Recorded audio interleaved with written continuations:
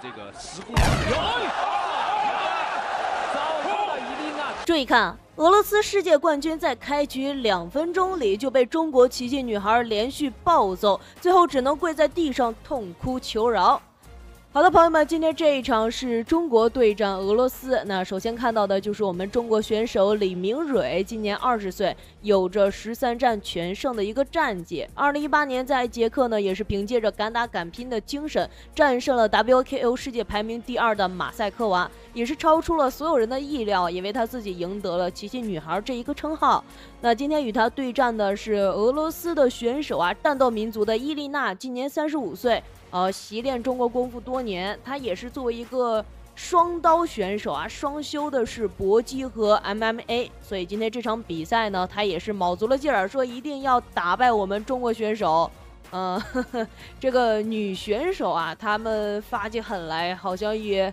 非常的强大，所以这场比赛我们李明蕊也是毫不客气啊，表示一定会把对方打出中国，而让他知道，你就算习练了中国功夫，但在中国的地盘上，还是我们中国人最厉害。好的，那比赛开始，让我们期待李明蕊的精彩表现。那可以看到，穿着黑色背心的就是中国选手李明蕊，红色则是俄罗斯的选手伊丽娜。这场比赛，我们中国选手在身高臂展上面要不占优势啊，对方比他高出了能有差不多十厘米，呃，所以哇，漂亮！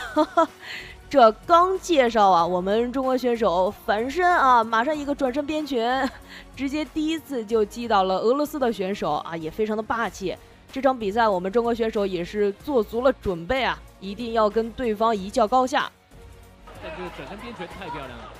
但启动速度要比对方快很多。是再一次，对方已经防住了。好的，前摆拳命中了，托拳命中了，连续的后折，高糟糕，状况不好。第二次，第二次被抢第二次读秒。我们的伊琳娜上次在中国比赛。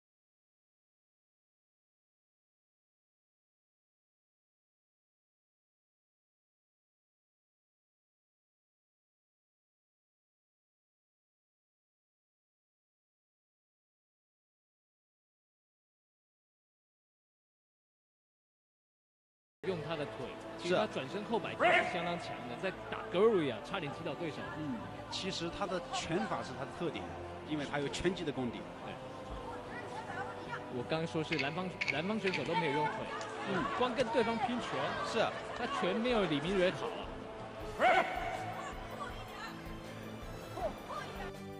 现在比赛来到了最后一个回合，第三回合。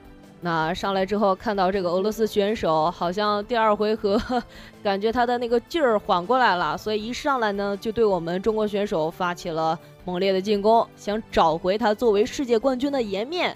但是很可惜啊，这个回合我们中国选手的体力好像是用不完一样，连续的跳膝、转身边拳，一直控制着比赛上的节奏啊。刚刚也是看到了这个。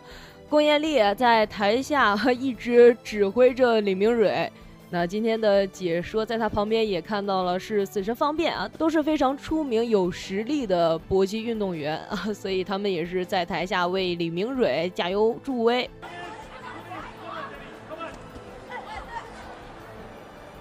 现在已经是李明蕊的时间了，是，对。现在表演的手只能游走，但是呢，他也没有躲掉对方拳的能力。转身，转身做了一次，为时已晚了。对，这个时候体能下降到这个技术动作可能并不是这么完整了。对，哎，不然其实这个南方选手的转身后摆踢啊是很重的。是。要注意一下，开始用腿法了哦。再来一次啊。比赛时间现在还剩一分半，可以看到这个俄罗斯的选手啊，打到现在呢，一直被我们进攻啊，打到他的体力也所剩无几，所以呢，他每一次的腿法进攻啊，虽然说有踢出来，但是效果真的丝毫不见啊，因为他的动作已经开始变形，因为他的体力已经不支。那反观我们中国选手李明蕊，真的就是一个 非常活泼啊、非常有活力的一名选手啊。虽然说两个人的确是有着年龄差的这样一个实际差距在，但是他也丝毫的不弱。有的身高这种选手，他应该很有自信，应该是有自信，然后用力量去压制对方，结果都没没使出来，去吃掉对方。对，就完全被李明蕊吃掉了。好，前摆。转身，转身那个角度也不对。